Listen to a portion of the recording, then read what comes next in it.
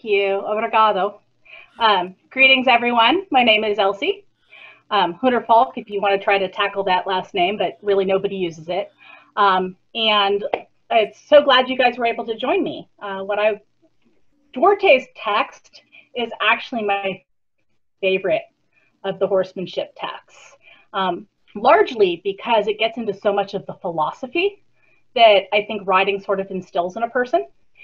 And one of my favorite things to do in the SCA is actually allow folks to get some experience working with horses and interacting with them in a way that often in our urban world we don't get a chance. So the, the video that you're seeing playing, this is actually uh, well, I'd say it's me messing around with my husband's squire, but it's actually my horse messing around with my husband's squire because I had very little to do with this. This was mostly Moose and Lars having a good time practicing ground and mounted combat together as we got used to things and he used some of the things he knows how to do. So really my, my goals are to kind of introduce you guys to the text. I'm hoping to encourage you guys to pick it up and, and take a peek at it if you have an interest in 15th century Portugal because I think it has a lot to show people beyond horses.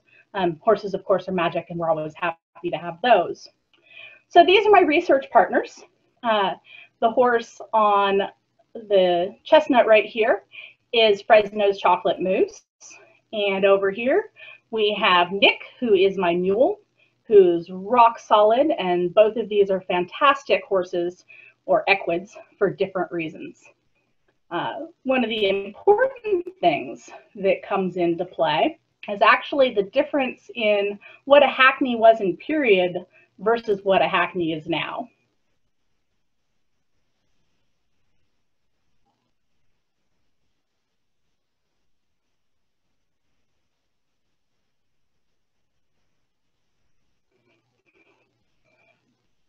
So Nick is a super steady mount.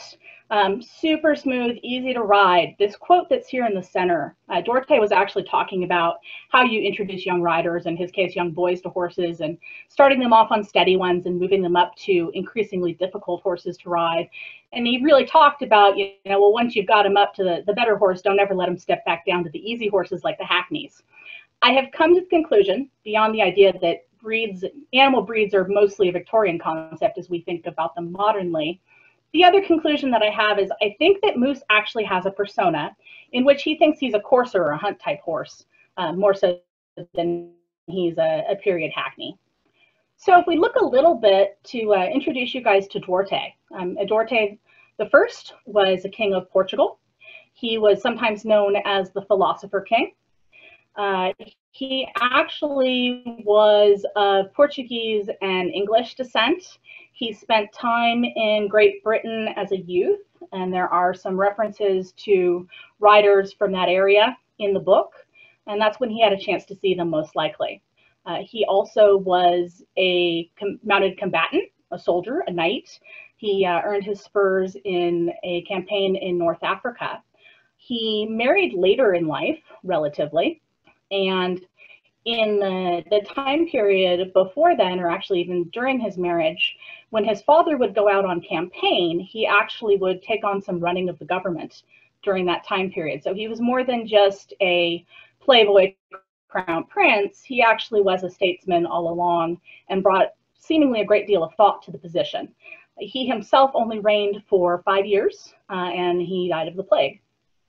He had a large influence in terms of his offspring throughout Europe going on to very lofty, elevated positions. The text itself, uh, there is a single extant copy of this work. It was done, as far as we can tell, it was done as a presentation piece for his wife. Uh, and she took it with her when she left Portugal at his death. And within that work, there are actually two. Um, there's Bem Cavalgar, and there is Loyal Counselor, which really was a lot about the philosophy of reining. So we're going to focus on the work of writing, but it's really largely a philosophical text as well. Uh, I have a link to this work it, in the other resources at the end of this presentation. If you guys want to find it online, the whole thing is, is available. We are actually very fortunate to have uh, three different editions by two different translators of this work, and, and each is a little bit subtly different. Uh, the 2006 and 2011 editions were obviously the first ones done. To me, they read a little more like having a conversation with one of my buddies from the Azores, um, who's obviously a native Portuguese speaker but speaking English. There's a, a pattern to the language and the diction that I find very familiar in that regard. Uh, there's some cultural stuff that I find a little more useful for the 2006 translation. The 2016 translation is generally a little bit better regarded in terms of the scholarship behind it.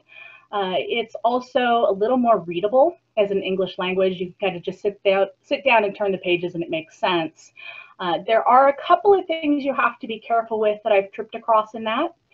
And one of the caveats that's important, this quote is actually from Duarte himself. The, the standard modern way of saying this would be that you can't learn to ride or you can't teach a horse from a book.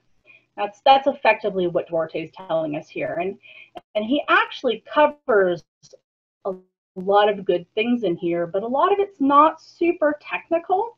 It's not the underlying details. In fact, the introduction highlights the idea that you maybe need to know a little bit about horses to understand some of the depth that's going on. There's there's a, a bit of advice here and there, but it really is not a specific this is how you ride a horse kind of. There are also a few mistakes. Um, for example, in the introduction of the 2016 edition, there's a, a section on spurs. And I think most of us in the SCA know what a spur looks like. And it goes on to talk about the stirrup iron and being secured to the foot. So this is actually a stirrup. This is a spur. There's a couple mislabeled photos. So if you come across something in the text that seems a little off to you, it, it may actually be off and just check, double check with somebody. They might be able to go confirm your suspicions. So this particular one, comparing the two translations, I spoke a little bit about, you know, I tend to work predominantly out of the 2016 one, but every once in a while I'll come across something. I had shared this quote with a friend who makes shoes. And he came back and asked how something could be slender and broad at the same time. And I went, huh, that's a really good question. So I went back and I reread the uh, Preto and Preto translation and I went thin and wide, thin and wide. And then I thought about it a little bit. And we'll give this just a minute for the uh, video to play.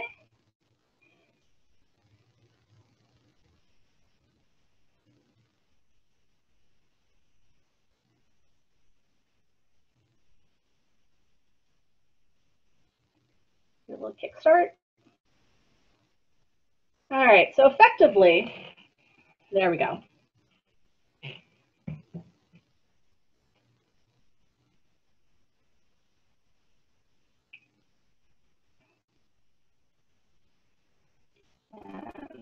And if we kickstart,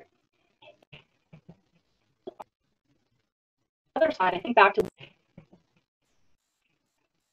on the other side, I think back to things like California, and what you found is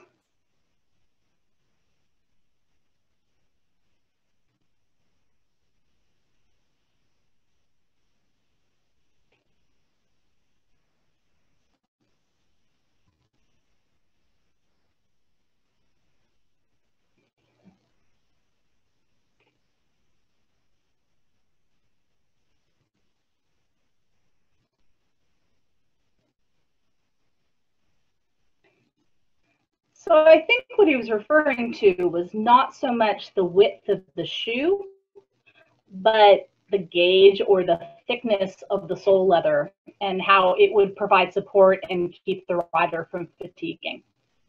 So this is my firefly warning for the book. Um, this book is unfinished. Uh, there are large chunks of it that he didn't get to, and I think that might be part of the reason a lot of the technical guides aren't there but the information that he did get down comes through with a very strong point of view in terms of what he thinks a horseman should be and how he thinks horsemanship relates to um, the upper class culture. these were the planned contents of the text.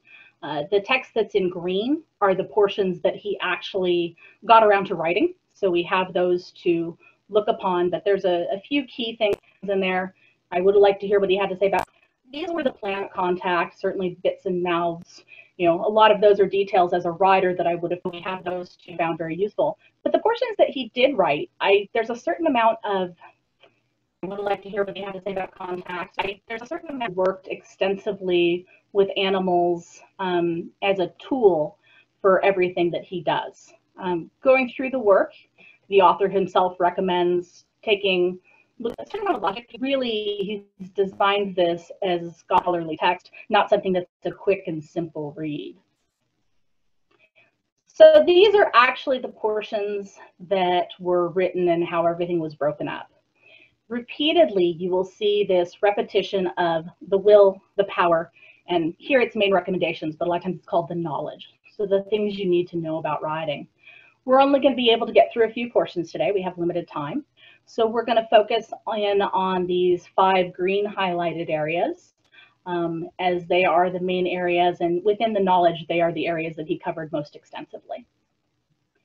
Again, great will, adequate ability, much knowledge. These three themes are something that he repeats throughout the book. And you can see where he's really trying to show how one becomes a rider, or more importantly, how one becomes a horseman. Um, we don't start with just being passengers or we his philosophy is that we shouldn't be settled with just being passengers. You can you can sit on a horse and stay on top of them but it's very different to actually spend the time and as you struggle and you go through the process as with learning any art it sort of changes you and it changes your approach to the world. Uh, I think that's a large reason he will talk so much about how the noble fighting culture really was absolutely key that they learn about horses um, and that they're able to build their courage um, by doing that. Uh, these two photos, I actually had uh, borrowed my protege's horse because mine was being a toad. Uh, borrowed my protege's horse who I hadn't ridden in forever for a castle charge and and having those moments where you've got that ingrained skill set makes it a lot easier to go forth and do some of the things that you need to do. So we do a lot with horses on different levels and from the most obvious to the most subtle. This next video we'll be going through and talking about something as simple as steering and all the different communication tools that you can bring to interacting with the horse and asking them to steer. There we go.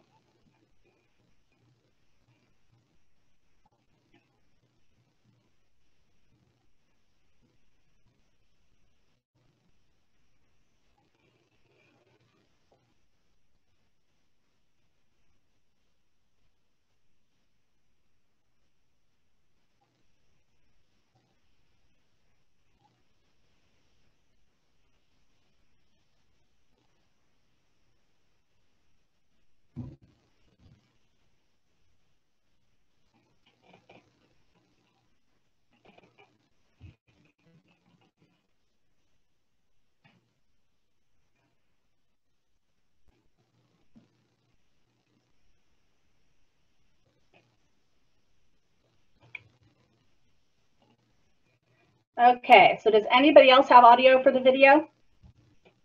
Okay, if it was, all right, I'll talk through. So what, what I was talking about, and let me go ahead and mute it.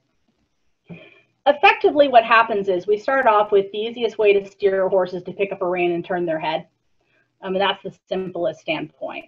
Where we go to from there is there's a few different ways we can make the horses move. They can go forward, like we just did we can actually ask them to come backwards and we can turn left and we can turn right. We can actually get to some more complex places. So that's the, that's the simplest level. That's basically just using our legs, turn left and right. It's kind of horse 101. We can also do things like use our foot or our ankle. I have a small spur on. And by putting a little bit of just a touch with a spur in his side and holding his front end steady, I'm able to move his hips over by the same thing, I was able to put on my left spur in by his girth and hold his face steady, I'm able to move his shoulder over and get some sideways action that way. So we're getting into the next sort of level of rider that's involved. And then we start to get into some of the more subtle things that are a little difficult to see. In this instance, what I'm actually doing is I'm setting the shape of my pelvis, and he is taking that bend through his body. He's changing the shape of his spine to match what my pelvis does. And because of that, I'm able to turn him just off the shape of my pelvis. So we will go ahead and go on from there. And this one's actually muted anyway. So this next bit is talking about sort of applying those same techniques into riding a simple pattern. Um, and what we're going to do on this very first pass, I'm going to steer just with my reins. I'm going to go ahead and neck rein because I've got a sword in my hand. And with just the neck reining, you can see relatively how he travels through. I'm going to disappear behind for a moment and he will come back. And on this one, I'm just using my legs to steer. And what we get, I actually miss one of the turns because he's not able to come back fast enough. On this final pass, I take all of those tools that we have put together and we're able to come up with a pattern that's much more smooth. You can see that he keeps closer to the target. The take home lesson from those two videos is really that you want to gonna you're gonna want as a rider as you develop and you go on you develop more and more skills. Again it becomes like any any art. You can go through and you can sew on the simplest level or you can learn advanced tailoring and how things interact. You can layer flavors in with food.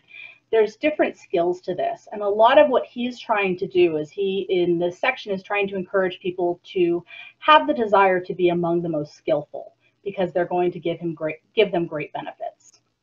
As we move from the will to the ability Duarte talks about ability being divided up into physical aptitude as well as the means. Um, and these are actually really the same two things that we tend to come up with today when you talk about people why they don't ride. There may be lack of interest, but among the people who are interested, so who have the will, uh, physical aptitude is one that comes up.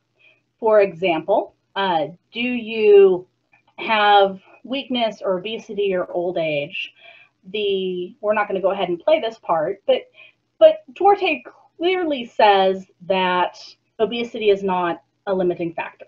You know, and speaking as a, a plus size rider, there's a lot of things that come into play. One of the most commonly touted, uh, one of the most commonly touted standards is 20% of the horse's body weight. And there's a few things that is based, this is based on, but one of them is actually a study that was done in England modernly. Uh, and they took riders of intermediate le value level skill level and they put them on horses that were not fit. And they worked them bringing up to different levels of the body weight. And what they found is once they hit that 20% mark they actually had the horses that had a higher pulse and respiration. So they were working a little bit harder carrying a higher percentage of their body weight. Makes sense but they were able to do it. And there are things that you can do if you are a plus size rider in terms of your fitness and the horse's fitness um, to ameliorate that. So, so all of those excuses and concerns of the body, they weren't enough then, they're not enough now. You can do these things if you have sufficient will and sufficient knowledge. Means is tougher. Um, certainly one of the uh, money is money is a factor not only to purchase good horses but to keep them up. Do you have the land? Do you have the ability? But the horses themselves become equivalent for example to a fine wine and have value in that regard. Um, down to the level where you've got to have the finest horse. If you want to be out and be the finest fighting man you need to have the finest horse. And so there is no shame in asking your lord for a subsidy so in this video, we're actually going to look at how the horses are involved in generating the movement of the sword. And so bringing their value to the fighting field. If I just drop a sword behind me, it just falls straight to the ground while my horse is, is standing still. There's no further motion. If I get past this part of the talking and get to the next part of the video, there we go. We're gonna start off at kind of a lazy walk where Moose is not actually doing a lot of work And I get a little bit more movement to the sword than standing still, but not much. But if I actually ask him to step up and carry himself and work like a good horse, I'm able to get the sword around back above my head without providing any of the muscle power myself. That was actually all him. So next we're gonna go ahead and work in a nice forward trot. And again, we get a nice motion all the way around, straight up where we need it, all the power in the world to uh, do anything that I want in the canter. We've got a backswing, up no problem. And if I go on a forward swing, that up and down motion of his stride is actually driving the motion of that sword. Um, I'm not providing any of that extra energy. In contrast, if I switch to the mule, who's a much flatter mover, which I get to, there we go. If I start in a walk and I let go, I basically get not much more motion than if I were just standing still. And if I ask him for a little bit of a trot, I get a little bit more, but not nearly as dramatic as with moose. So you start to see the difference. Here's in the canter, and I can kind of get it around, but not really, and, and not that continual motion. So you start to see that difference between that flat moving mule, who's honestly easier to ride. Most SCA people would much rather ride Nick than Moose. Um, but the, the horse becomes almost a material good and a tool for the fighting man himself. So knowledge is actually a big part of helping with this ability. When you know something, you can go out and you can buy a horse that you're going to be able to develop into something greater. These are photos of moose at various ages. Um, he did not start off knowing how to do all the things he does currently. He started off as kind of a gangly, skinny four-year-old. He was about 1,100, as a five-year-old, he was 1,150 pounds. He's probably 1,300 to 1,350 right now. I haven't had him on a scale since he was five. But you can go through and raise them and develop them into what you want, which also has the advantage if you've brazenly and boldly asked your, you're at least able to get him a bargain. You're able to take care of his funds and do respectful things with them. So one of the next things that comes into play is uh, being strong. And this is the, the longest of the knowledge sections. It contains the descriptions of the five types of saddles, uh, which is one of the, the bits of technical advice that a lot of horsemen know from this book um, that they'll go through and they'll, they'll take and they'll apply to things there's a lot of stuff about how to stay on a horse and how you can fall off and left and right and forward and back and all that. For those of you who are not horse people or who work in costuming, there's actually several good quotes similar to that shoe quote that talks about how the clothing should fit in order to justify um, riding. And there's a lot of real world philosophy that uh, that definitely speaks to me as someone who grew up around horses. So we'll do just a little bit. One of the things he talks about is he talks about riding bareback or in a pack saddle and lumps the two of them together. And he talks about the position of your leg and what you should do, and that, you know, if it all falls apart, it is possible to grab mane. So if you guys ever see me doing that riding, it's totally documentable. I actually have it not only from Duarte, but from Xenophon. Uh, but really the position when you are riding bareback is very similar to the sorts of things that you would ask for in uh, the sorts of things that you could ask for under saddle. The saddle provides a platform that I work from. It's not even for balance so much, but his back muscles are constantly moving underneath me. And so you can ride in bareback and I can drop my leg down underneath me, similar to where it is under saddle. Um, but you really have to work through those things. And, and the gist of what Duarte is talking about in his information on saddles is that a good horseman knows how to ride each kind of saddle and they ride appropriately to the task that they have as hand as well as riding appropriately to the equipment that they're using in that moment. Fast forward a little bit, maybe. There we go. Just to show you guys that anything that's done with a saddle can be done without. We can uh, do a sitting trot. We can do a posting trot where I rise up out of the saddle. We can do two point. All of that's completely possible. So this is one of those philosophical quotes that comes about. And there's a lot of things that come in when you are working with horses and you are going through and working through problems. Um, getting angry doesn't necessarily make the process better.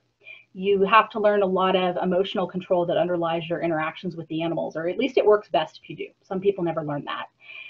Often, I sometimes term it stubbornness, but often that mentality that comes through and that tenacity, uh, that perseverance, to give it a virtue, comes into play with my interactions with others. We'll go ahead and hit play.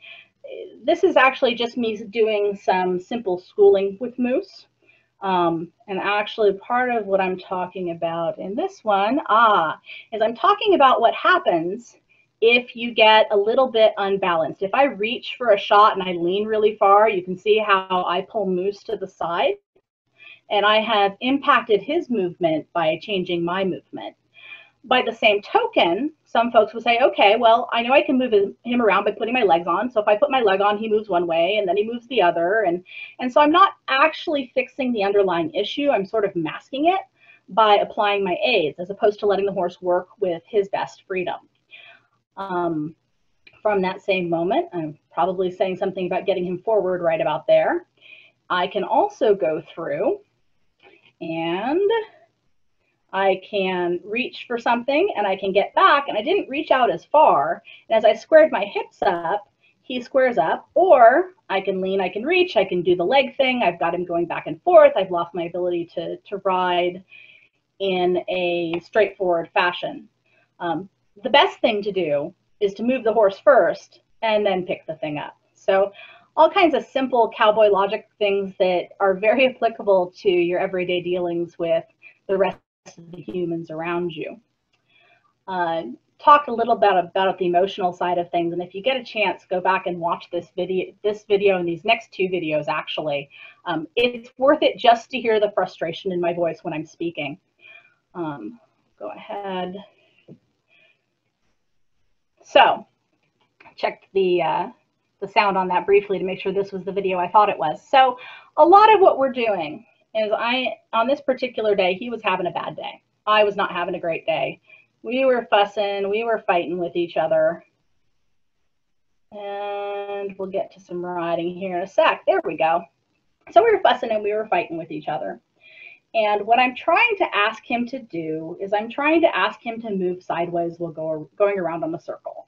And I really, really, really want to do this in a trot because I'm trying to build something up in his back end everything I was trying was not working. As a matter of fact, we'll go ahead and we'll do it in the trot. And what, what we've got from the horse is he's actually kind of curling up underneath himself and, and not taking responsibility for holding his own muscles up. He's starting to kind of evade the bit and try to get away from me.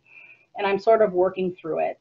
And a lot of what I found is that when you get into those moments where you can't steer and the horse isn't doing what you want, you kind of have to take a deep breath, go back to the moment where it was working. Um, in this case, that involves dropping back down to a walk.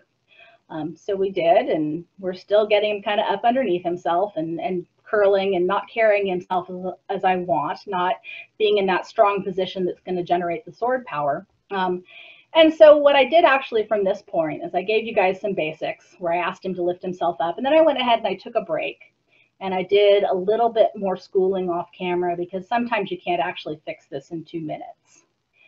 So a little bit further process and understanding of how these sorts of things to do. Um, going back and looking at what I'm getting. I'm getting the horse beneath himself and starting to get a little bit more uh, for the posture that I'm looking for from the horse for carrying himself but he's still curling up a little bit and we're still getting frustrated. And i'm tired because this is actually the end of a end of a workout and he's tired. And i'm trying very very hard not to fight start a fight with the horse here and i'm trying to remember to go back and do the right things and all the stuff you're supposed to. And i can't tell you that duarte had these same thoughts when he was interacting with counselors and he was frustrating but i can tell you that i can take these lessons into my everyday work world and occasionally into my everyday SCA world and realize that that um, that grace that occasionally comes from working with animals has a lot of skill and a lot of applicability in my everyday dealings with folks. So this is a little bit further along where we've had some more progress with him. I've started to get him to move up underneath himself.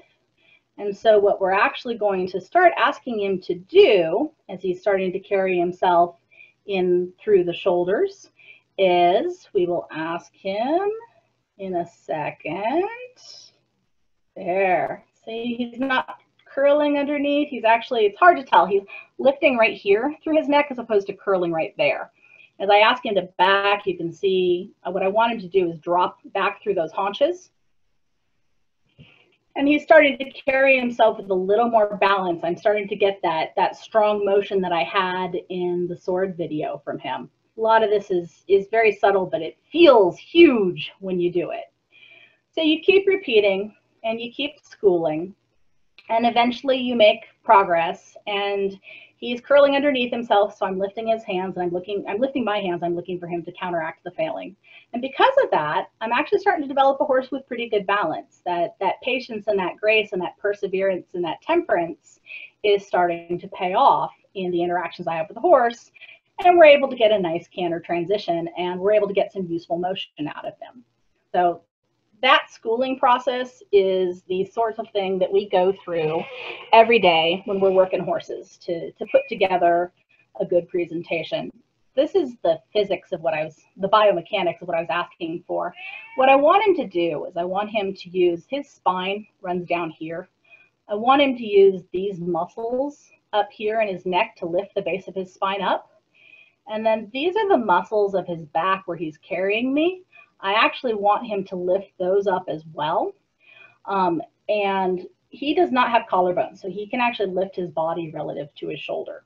So that change in posture is a lot of what I'm looking for in here. So if I pick up contact with him, you can see he starts to engage through the neck, but he actually gets hollow through his back. If I ask him to engage his haunches and move forward a little bit, right there, I get a little lift in the spine. That's that hours of schooling and that muscling and that back and forth, it's little small changes that we're looking for. Really much as if you're fine tuning any other art. Um, and you, for those of you who do practice other arts, you may start to see some of this philosophy and some of this tenacity um, that, that goes along just with being an artist in general. So moving into fear and being fearless. Um, and I will get to that question on bareback at the end. Uh, we actually had I had somebody ask me a question on how did they shoot archery before they had stirrups. I am a safe mounted archer. I am not a tremendously efficacious one. So I went out to, to film this video one day and I did intelligent things like I took the mule who I've never shot off of and I did a couple of things with him. I generally shoot from a seated position. I wanted to get some demonstrations of shooting from a two point, so standing standing up above the horse and letting him move underneath me. Um, I wanted to do a few of those things. So the being fearless where that comes in, you know, you, you never know when things are going to come into play, but as a rider, you have a balance of fearlessness that's absolutely crucial at the same time that you have prudence. And sometimes it's the prudence itself that allows you to do that, having horses that are prepared. Um, this mule is dead steady. I hadn't shot on him before, but I had done a lot of other things with him. As soon as he learned the pattern, he was good to go. Um, and perfect. So we've got the combination. These are just the six things working without the stirrups so that I can demonstrate for the person what the possibilities are. So for the display on horsemanship question, are you thinking like ride before the prince? Okay, move on from that one. So we talk about prevention and going through and making sure that you understand what the hazards are that are around. I had somebody ask me a question about how do you mount and dismount in garb. So I did a quick demo on that one. And one of the things, I cover a couple of simple safety things that come into play. Um, take off extraneous sorts of materials that are involved. Um, go through, pass that along to somebody, have a header, have a platform that you're moving to, uh, covering all of those sorts of things. Where this comes into play this is not specific advice that Duarte gave us in terms of how do you dismount from a horse and garb. He doesn't actually cover that kind of thing. But this is really a lot of what he's talking about in terms of recognizing the hazards. A lot of keeping yourself safe as a horseman is the things you learn from experience. You learn that stuff can get caught, you learn that garb can get caught on the back of the saddle. So then you start to take preventions to avoid those sorts of things. And a lot of where that comes down to, again, sticking with that idea of being fearless, is not only do we recognize the causes of the fear and how to prevent them, it gives us sort of a path forward in how to improve because not only are we schooling the horse, a lot of times we're schooling ourselves. And we want to take that fearlessness. If you're paralyzed with fear when you're learning a dangerous activity, you're never actually going to get anywhere in terms of acquiring the knowledge. So having ways that you can come to terms with that are helpful. Um, and again, become applicable to the rest of your world. So from there, we move on to fluidity. And we talked a little bit about how Moose moves and how he's different than Nick moves. Where the key thing comes in with fluidity, this video is actually just on my uh, basic position. Um, and looking at it. A lot of what we're looking at at this point is the motion of the horse. If you look right here at my belt line and you look at how much my hips move back and forth. Um, one translator calls this fluidity, the other calls it ease. I actually kind of like ease. Um, that you need to go through and with a high energy, high motion athletic horse like Moose, you need to have a great deal of flexibility in how you ride um, and that will come into play in the movements and being able to do all the things that you want to do. Let's go ahead. We've got a little clip here at the trot. At the beginning, I actually ride with fairly stiff hips for two or three strides, and you'll watch me bounce pretty hard, and then I go through and I, I react, relax and add some fluidity so that you can see that bit of motion. So right here, you're gonna watch, there's a lot of stiffness and I am pounding on the horse and we're going through from there. If the video is going to behave. Perfect. And then as we start to relax, not only do I relax, the horse starts to relax and the horse starts to move underneath himself. If I stop my hips from moving, Moose stops moving. Um, and that makes a big difference. Um, so looking at all of those bits and pieces and what I'm doing. I wanted you guys to see that so I could set you up for this next part because that fluidity and that ease, some of which comes from 10,000 hours, practicing something over and over again to the point where it's rote memory. This is actually a visual in terms of how one can use a lance on these two types of moving horses. Yeah, the belling dancing is kind of similar. I'll, I been teaching one of our local folks a little bit about it. I'll cover that for you a little more in depth in the questions. So here we've got my stiff hips and my fluid hips at the walk and the trot. With the mule, you really don't see a lot of movement on the, the lance tip. As with the sword, he's pretty he's pretty steady. At the canter, he kind of trips behind, and you'll watch my lance takes a pretty big bob there. But other than that, there's not a lot of motion and movement. So he makes it easier. He doesn't take nearly as much fluidity and ease to rise. If I ride Moose with loose hips, you can see how steady the, the spear is. If I tighten my hips up, I have not moved my arm. All of that motion you're seeing is actually just from me stiffening up my hips and all the horse's motion being translated to the spear. We repeat that here in the sitting trot, nice and steady loose hips, and then I tighten up and you get the, mo the movement of the spear. We're gonna do the same thing here in a moment in the canter. So loose hips and tight hips.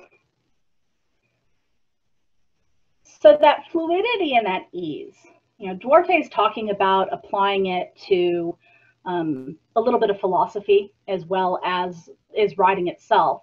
But it is something that's very fundamental and it's something that I didn't learn when I rode easy horses. You know, Nick is never going to teach you that it's something as you start to get to the more difficult horses. And I think it's one of the reasons he recommends not putting the young kids, not stepping them back to the easy horses. Constantly give them a little bit of a challenge, not so much that you scare them, but enough that they're forced to develop their skills and work and think and continue on towards mastery. Um, so we'll get back to this. This is the last slide. I will make sure you guys all have a copy of this presentation so you can go back and listen with the sound. Um, there's some resources there, but I, there's a couple of good questions here in the chat that I want to go through and address. So starting with the reasons you would choose to ride bareback. Um, he talks about it in terms of uh, it, he sort of presents it as more of a almost a lower class thing, or you're just hopping on this horse. You've you've got a pack horse that doesn't have a saddle on it, and so you go and you're going to ride bareback. Um, much of Duarte's framing of how to how and when to use the saddles is they are it's what's presented to you, and I think for him, for someone who's at a lordly level, um, you ought to have that skill set, even though you yourself will likely always have access to horses that have saddles. Um, and going back, so the next question was, he does he spend any talking time talking about displays in horsemanship? Um, and particularly talking to like Pluvinel or perhaps uh, some, you have some familiarity with Grisone or Blundeville or any of those. Um, there is not a ride before the prince display type thing. He does talk a lot about your attitude and your posture and i believe one of the topics he didn't cover was was uh, elegance that he planned on covering. But but there's a smattering of it throughout the work. Um, and he will talk about do x because it's more elegant. You know if the horse bucks you might be able you yes you can reach forward and grab the mane but that's not elegant. But you might be able to sneak a hand down and grab onto the saddle to keep from being thrown forward and that looks much more graceful. He definitely is talking about the artistry that goes with riding and the artistry of equitation um, in pieces of this, but it's not a specific formal demonstration. It's more in the terms of the fact that horse people then and now are super judgy. And so here's how you look like a good horse person. And he specifically talks about for anyone that any of the fighting men that should know this skill and don't, they deserve to be judged. So there's definitely a interpersonal peer group judgment that comes into play. And, and not only, you know, if you don't have the skill, you're not going to be a good horseman and you're not going to be a good fighter. And as a matter of fact, you may as well just be a craftsman or an entertainer. The riding and doing it elegantly is definitely something he saw as an elevate, elevated skill set that was a fundamental portion of being part of the nobility. Let me know if that answered your question.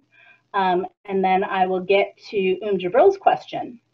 Um, yeah, so I was actually teaching a friend, uh, Mirma came out and was taking a riding lesson and we were talking, and I took a belly dance class with her. We talked a little bit about the separation when you're belly dancing between what your hips are doing and what your shoulders are doing. And there's a tremendous crossover in the concept and the goal. What we have found from teaching each other is how we go about accomplishing it differs because a lot of what you're doing in riding is I'm lifting and supporting to get that amount of flexibility. I lift and support at the base of my rib cage. As a matter of fact, the, the muscles that get really sore when I complain about my abs from riding the horse, they're right at the, the base of the sternum um, right tucked up in between that narrow part. Let me try standing up. Right about here is the muscles that I use for riding that particular horse. Um, the belly dancing muscles, you're using those muscles to drive the motion. A lot of what I'm doing is I am using the muscles to relax and I mostly let Moose drive the motion. I will occasionally stop the motion of my hips and use that to stop his motion, or I will be even more fluid and ask him to go forward and he will give me even bigger motion. But it's not, from my limited knowledge of belly dance, it's not the same kind of curl and power and that lower abdominal control that you guys have to do the isolations. Okay, so much. Oh, the old texts are super relevant today. I, I can't remember how long ago it was I read this one in particular for the first time. And it really kind of felt like reverse documentation because having um, ridden horses for 30 plus years at that point, at this point I've been riding for 40 plus, um, there was a lot of stuff that was just kind of, well, yeah, gee whiz, of course. Yes, that's exactly how you do that. um, because there was so much of a trial and error basis. And I actually, looking over the literature now, one of the things I have to check myself for is um, validation bias to make sure that I am not assuming I know what they talk about because they say something that that hits with my experiences as a horse person. I sometimes have to go back and look a little more closely at the text and look at the tools that they have and how close can I get to their tools with the things I have access to that are the right size that I feel are humane for my horse. So, and here's the 15 Do we have any mark. other questions? Perfect. That's about great. Let me go ahead and I will give you guys I, that uh, link to the presentation one more time and I will post this everywhere um, so that you guys can go back if you're interested and you can listen to it with sound. I'll go ahead. If you guys aren't going to ask questions, I'll just keep talking at you. So these are some additional resources. One, if you have never read this text and you and any of this sounds remotely interesting, pick up a copy of one of the translations. They're not expensive. Um, they're super easy to read. They're small. They look good on a bookshelf. Um, well worth buying the book. Um, this is actually where I keep uh, all of my my thoughts and my projects on my horsemanship stuff. Um, so there's a little bit more information there in terms of the things I've done with Moose and that sort of thing. I, I, was trying to cover it on a fairly superficial level today so that it would be accessible to non-riders. If you're a rider and you want to geek on stuff, this is where I get a little more geeky. Um, I have a Google a database that, hey, that works even better if I hit send. There we go. Um, I have a Google database that I keep quotes from various uh, period authors as I trip across them and a bunch of resources and links to um, online things. So if you're looking to do get some more documentation and looking at the written record, I actually find the written record is often much more useful for trying to sort out what they were doing with writing than the artistic record because it's sometimes you can confirm the artistic bias or figure out how to how to translate it but i really like working from the period writings because there are some great uh, manuals from a variety of cultures from many many many many centuries. Um, for particularly for those of you that are not typically riders uh, horse lovers two minutes has been my uh, quarantine project. Most of the videos that you saw in this presentation came from that. So I sit down and I do simple two minute videos talking about trying trying to demystify some of the things we're up, doing up there on our horses because I want all of you to be able to be judgmental of the riders just like Duarte would have wanted you to be. So there's a Facebook group for that. There's also a YouTube playlist that has all those videos if you ever want to kill some time and, and see some simple stuff to move beyond my personal things, uh, the Works of Chivalry blog uh, covers a lot of it's there actually it's a well written blog it's written by a journalist out of um, italy and does a nice job looking at some of the primary sources for equestrianism and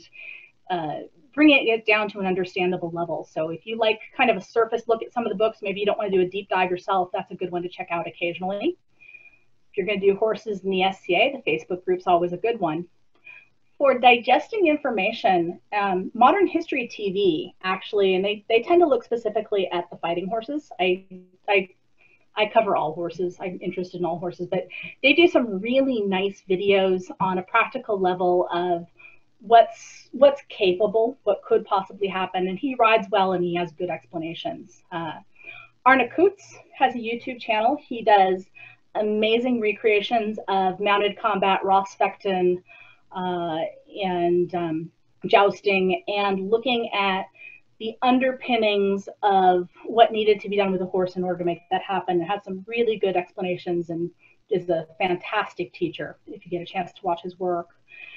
This is actually the YouTube channel for a uh, Lusitano breeder in Portugal who breeds uh, his primary use for his horses actually are bullfighting horses, and he breeds uh, Lusitanos. he's a fantastic guy to ride with, but he comes up with a background in the traditional um, 20th century Portuguese military education and all of those levels, as long as as well as being a lifelong horseman. And what I like about his stuff is you can see good demonstrations of a lot of the um, some of the bits and pieces and underpinnings of horse mu- movement you'll hear described in the primary sources. So it's a nice place to go look because you everyone's got their own feelings on bullfighting. Um, but because it's one of those places that probably most close, still most closely resembles in mounted combat, it's sort of an experimental milieu for those applied movements to be used in a way that they're still being used with weapons and danger and movement. Um, so this particular YouTube channel, it's none of it's bullfighting, it's all unmounted stuff, but you can get to see the kind of moment movements that he has. And this one is the link to the extant copy of the work. And with that, I think I filled my 50 minutes. Yes, you did. I'm going to go ahead and turn off the recording.